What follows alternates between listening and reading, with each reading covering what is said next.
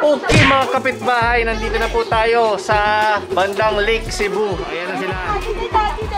Ayan. Oh, grabe oh. Transportation ng pagkain nila oh, nakita nyo? Ayun oh. Oh. May bumababa, may umaakyat. Naka-zipline din yung pagkain nila dito. Pababa tayo ngayon doon sa may para mga kubo-kubo. Doon pwedeng mamingwit ng sarili nating pagkain. Yun yung mga pwede nating ipaluto. I-ano zipline yung pagkain. Oh, sabi ng anak ko, isi-zipline daw yung pagkain.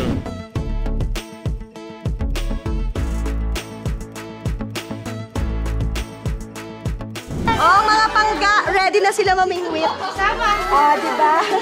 Super outfit. Oh, ito mga kapitbahay. So, sasakay na sila dito sa parang ganyan, papunta doon. Para doon sila mangisda. Oh, alin na kayo. First three. Alin na. Oh, humawa kayo ha. Di paano pag hulog kami sa tubig? Di, anong gawin mo di? Oh, Siyempre, lalangoy kayo.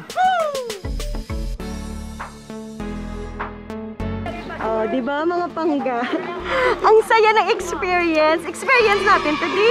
Gulang eh. Sabay, sabay tayong dalawa? Kaya mo na yan. Ah, siya ka na una na kamingwit. Ganda naman. Yay! Nata, Asus Mariusep. Hindi ganyan ang paghawak ikay. Ganunin